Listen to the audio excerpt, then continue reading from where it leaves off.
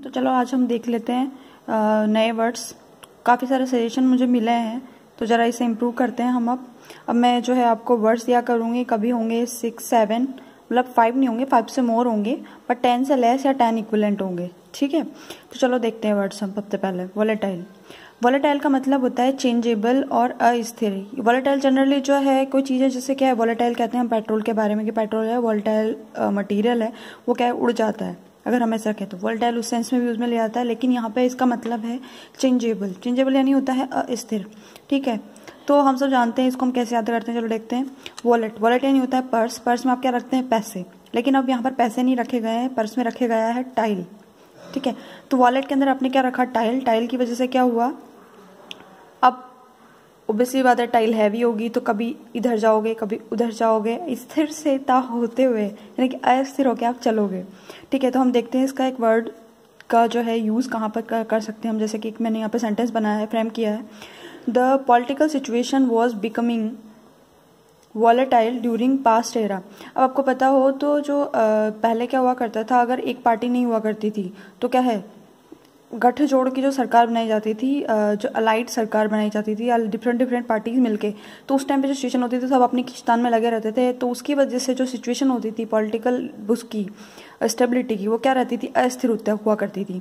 तो इसको हम उस सेंस में यूज़ में ले सकते हैं, या अपने अपने माइंड की यूज़ सेंस में यूज़ में ले सकते हैं कि अभी आप टारगेट पर फिक्स नहीं हो, कभी इधर जाएँ, कभी उधर जाएँ।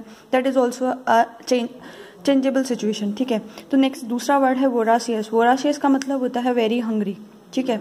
आप जानते हैं ओमनीवरस कार्निवरस ठीक है? तो ये वर्ड जो आपको यहाँ पे रूट है, जो वोरस भी मिलेगा vorous word that is root word ठीक है? तो हम इसको याद करते हैं कैसे?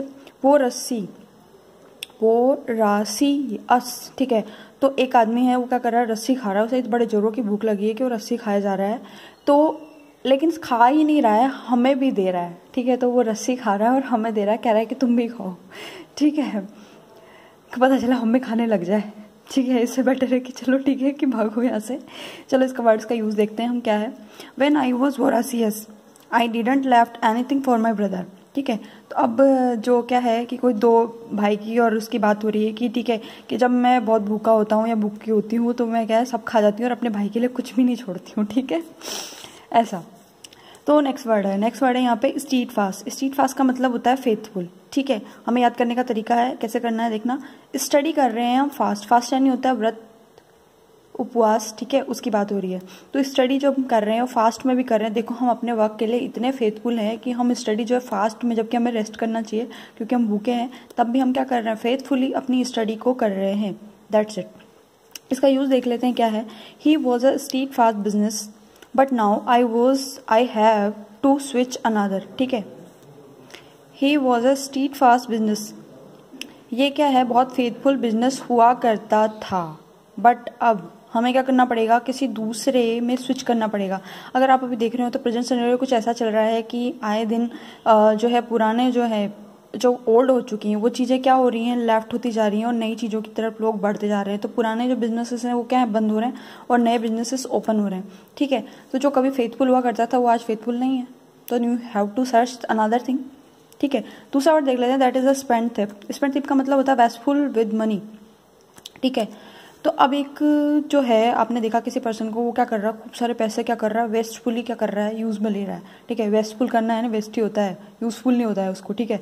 तो स्पेंड कर रहा है थीप्ड हमने इसे याद करना है ऐसे कि स्पेंड कर रहा है एक चोर, जिसने क्या कर रहा है? पैसा चुराया है तो वो तो कर ही सकता है ना भाई? स्पेंड थिप्ट कर रहा है वो। वेस्टफुल अबाउट मनी अब हम, मैं एक यहाँ पे एग्जांपल लिया राहुल क्या है? एक बहुत स्पेंड थ्रिप्ट है। उसकी मदर ने ऐसा क्या किया? मुझसे कहा। Rahul is very spendthrift his mother said to me ठीक है नेक्स्ट वर्ड है dilemma and quandary both are synonyms and दोनों का मीनिंग होता है दुविधा. ठीक है, दुविधा यानी कि ऐसी कंफ्यूजिंग सिचुएशन जो आपके पास, जैसे कि सिलेक्शन का अगर आपको कोई ऑप्शन दिया जाए कि आपको दो चीज़ें हैं, उसमें से फाइंड आउट करनी है and both are both things are equivalent important for you जैसे कि कहा जाए कि कोई मेरिड मैन है, उससे कहा जाए कि भाई मदर को चूज़ करो या उसकी वाइफ को तो वहाँ पे एक सिचुएशन ऐसी हो जाएगी ना कि वो दोनों ही उसके लिए क्या होंगी लविंग वन होंगी तो फिर वो क्या करेगा? किसको नहीं चूज़ सकता? दैट इज़ दुविधा दिलेमा क्वेंट्री तो जरा देखते हैं क्वेंट्री को हम कैसे याद करें? मैं पहले इसको बता रही हूँ। आपके पास है बहुत सारी दरियाँ रखी हुई है, ठीक है? बट मैंने आपको जैसे कि बताया कि दो इक्वलेंट सिचुएशंस आपको यहाँ पे अज्यूम करनी है। तो उसके सिचुएशन रेस्पेक्ट में हम देख लेते हैं कौन सी दरी, मैं क्या करूँ, दो ही दरियाँ हैं, ठीक है? दोनों एकदम मखमल जैसी, बिल्कुल नरम और सब एकदम सॉफ्ट आप तो आपको चूज़ करनी है कि कौन सी दरी मैं चूज़ करूँ। तो मैं क्या हूँ, दुविधा में हूँ इसे सेलेक्ट करने के लिए, ठीक है? अब नेक्स्ट जो ऊपर वाला वर्ड है दिलेमा दिल आ गया है अम्मा पे, ठीक है? तो अब वो बेचारा सिचुएशन में है कि मैं कैसे इस कंडीशन से, इस क्रिटिकल कंडीशन से बाहर निकलूँ तो बेचारा जो है बहुत ज़्यादा पजल्ड है, परेशान है। ज़रा देख लेते हैं इसका यूज़ कैसे किया है मैंने।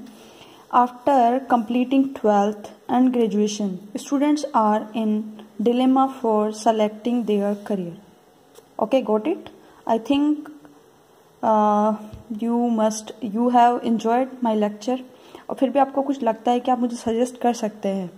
तो आप ज़रूर सजेस्ट करें मुझे इन वर्ड्स के रिगार्डिंग कि मैं क्या करूँ।